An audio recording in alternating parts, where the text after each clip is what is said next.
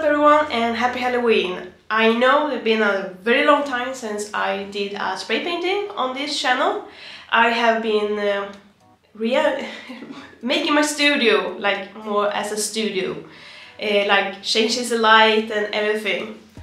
But we are back making spray paint videos again and this time I'm trying to use the, that crackle effect once again but it kind of failed this time around again. So I guess this paint doesn't work with water-based colors at all. It's kind of like falling apart, if I have to say so. super weird. So, but I really hope you enjoy this video anyway. Uh, don't forget to subscribe and like this video to make it seen, you know, here on YouTube. And my question for you all today is what is the best about Halloween for you? Comment that below and we'll see you next time. Peace out!